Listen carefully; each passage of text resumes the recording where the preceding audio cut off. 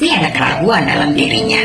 Secara dewasa, secara berani dan tanggung jawab, dia batalkan. Lebih baik batal sih daripada menikah sesuai ekspektasi banyak orang terus cerai.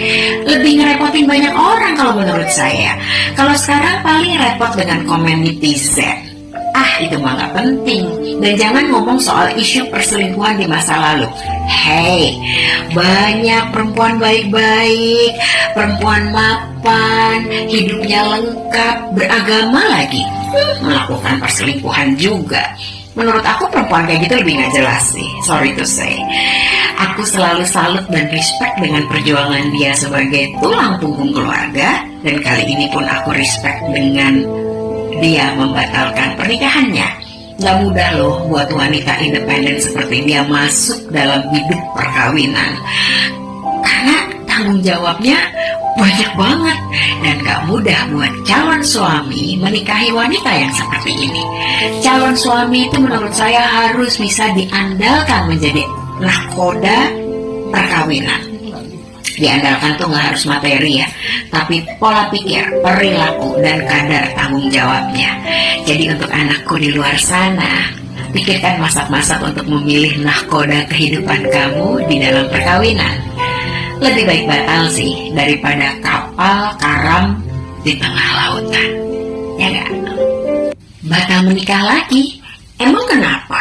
Menurut aku itu adalah keputusan yang berani, dewasa, dan bertanggung jawab. Dan yang paling penting dia tahu banget dirinya dan kenal banget sama dirinya. Banyak loh perempuan Indonesia yang gak kenal sama dirinya, sadar-sadar udah tua kayak saya. Telat.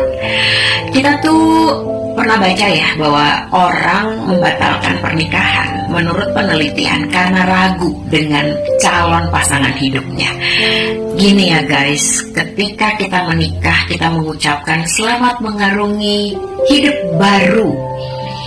Itu beneran kayak kita dalam sebuah kapal kecil isinya cuma dua orang kita dan pasangan kita dan anak-anak kalau punya anak namanya juga lautan luas ya itu adalah perjalanan panjang.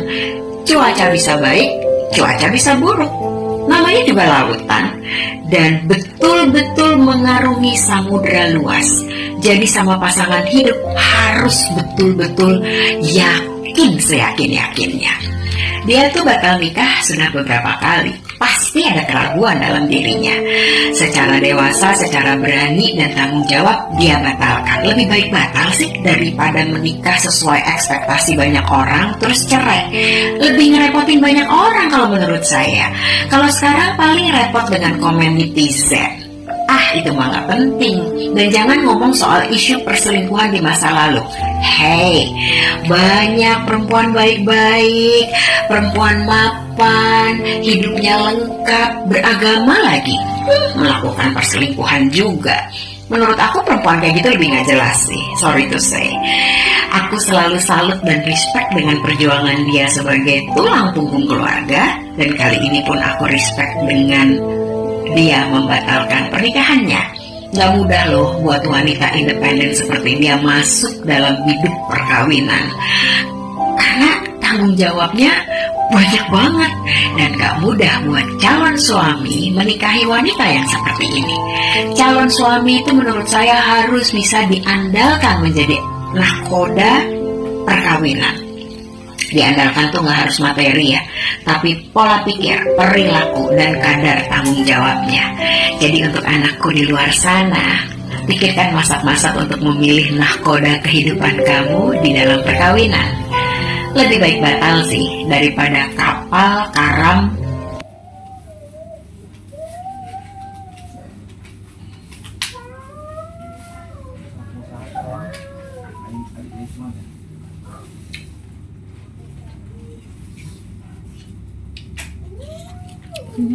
Pasti ada keraguan dalam dirinya. Secara dewasa, secara berani dan tanggung jawab, dia batalkan. Lebih baik batal sih daripada menikah sesuai ekspektasi banyak orang terus cerai. Lebih ngerepotin banyak orang kalau menurut saya. Kalau sekarang paling repot dengan komen netizen. Ah, itu mah nggak penting. Dan jangan ngomong soal isu perselingkuhan di masa lalu. Hei, banyak perempuan baik-baik, perempuan mapan, hidupnya lengkap, beragama lagi. Melakukan perselingkuhan juga. Menurut aku perempuan kayak gitu lebih nggak jelas sih, sorry to say. Aku selalu salut dan respect dengan perjuangan dia sebagai tulang punggung keluarga, dan kali ini pun aku respect dengan dia membatalkan pernikahannya. Gak mudah loh buat wanita independen seperti dia masuk dalam hidup perkawinan. Karena tanggung jawabnya banyak banget dan gak mudah buat calon suami menikahi wanita yang seperti ini. Calon suami itu menurut saya harus bisa diandalkan menjadi nahkoda perkawinan diandalkan tuh nggak harus materi ya, tapi pola pikir, perilaku, dan kadar tanggung jawabnya. Jadi untuk anakku di luar sana, pikirkan masak-masak untuk memilih nahkoda kehidupan kamu di dalam perkawinan. Lebih baik batal sih daripada kapal karam di tengah lautan. Ya nggak? Batal menikah lagi? Emang kenapa? Menurut aku itu adalah keputusan yang berani, dewasa, dan bertanggung jawab. Dan yang paling penting dia tahu banget dirinya dan kenal banget sama dirinya. Banyak loh perempuan Indonesia yang nggak kenal sama dirinya, sadar-sadar udah tua kayak saya. Telat. Kita tuh pernah baca ya bahwa orang membatalkan pernikahan menurut penelitian karena ragu dengan calon pasangan hidupnya. Gini ya guys, ketika kita menikah kita mengucapkan selamat mengarungi hidup baru.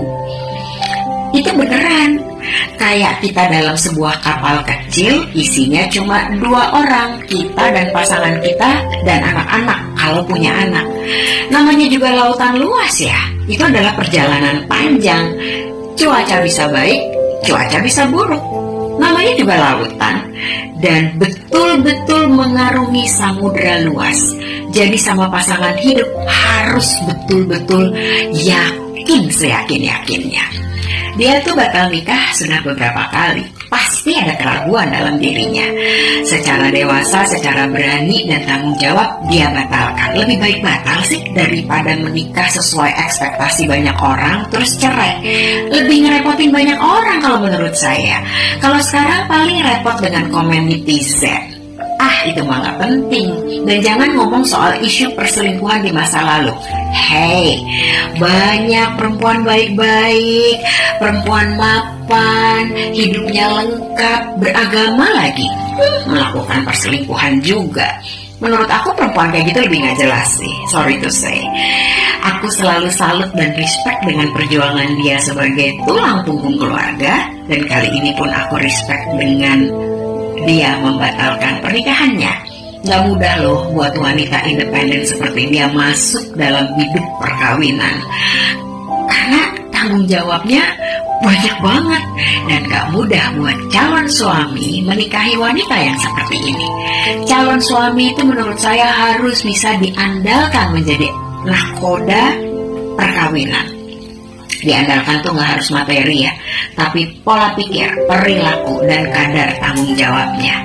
Jadi untuk anakku di luar sana, pikirkan masak-masak untuk memilih nahkoda kehidupan kamu di dalam perkawinan. Lebih baik batal sih daripada kapal karam